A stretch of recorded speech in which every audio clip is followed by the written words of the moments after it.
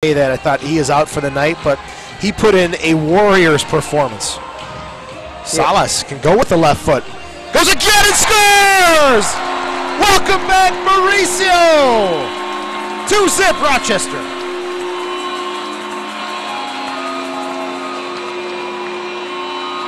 Mauricio Salles does a good job there. Um, takes a shot, and the defender actually blocks it, and then somehow follows his shot. It's good to see that the left Yeah. foot looks like it's it's ready to go. Yep, and then puts it in the top corner. It's a great finish by Mauricio Salles and a good individual effort. 17th of the season. Let's see who gets the assist. If there is one.